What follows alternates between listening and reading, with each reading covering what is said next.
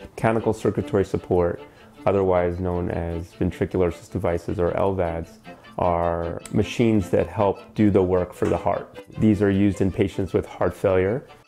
These LVADs have changed the way we treat heart failure.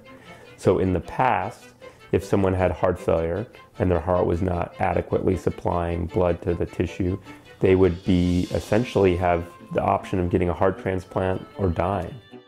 So this is actually the device itself. And this sits inside the body. And then one end connects directly to the heart and then one end connects to the aorta. And then this cable is sits here and actually hooks up to the battery, which the patients usually wear. This device inside basically has an impeller or, you know, you can think of it as a motorboat engine that's rotating in here as fast as 10,000 revolutions per minute. This is what we call an axillary flow device. The newer devices are centrifugal flow devices.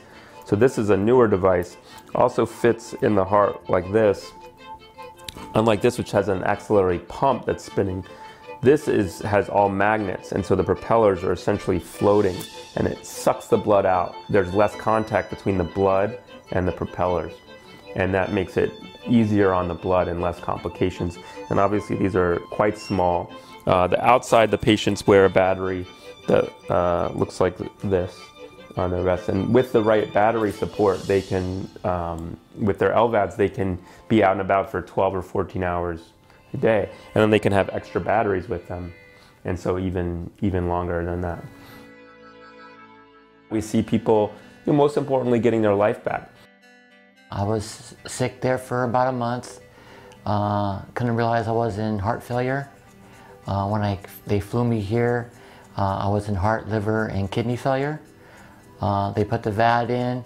I spent four months in the hospital recovering, and the VAD basically uh, pumped the blood better through my system, and my liver came back, and my kidneys somewhat came back. So uh, I spent four months through the recovery, and then I was able to go home and I've been uh, doing pretty well at home. I carry around batteries and the controller. Sleeping with it's kind of strange. Uh, you gotta have it next to you at night because it can't go too far. Showering is a little different. Gotta put it in a bag and wear the bag while you shower. You don't want to get it wet. But besides the limited stuff, it's, it's not too bad. We think that LVAD technology is going to continue to evolve. And what are the, the changes that we see in the next few years? Well, um, the devices are getting smaller and smaller, easier to put in um, that way, easier on the patient. So the, the next generation of these devices are about the size of your thumb. Um, so that's going to be a big change. We see the batteries and the peripherals that the patients are going to be wearing are going to be smaller, so much more closely resembling a cell phone something that you can put in your pocket and the batteries are going to be smaller. Right now they have to have two batteries at once. And we see the next generation of batteries being much smaller. The ultimate change that we see on the horizon for LVAD is totally implantable devices. I think once it's all internal, we're going to be seeing more and more patients opt for LVADs and not get transplants.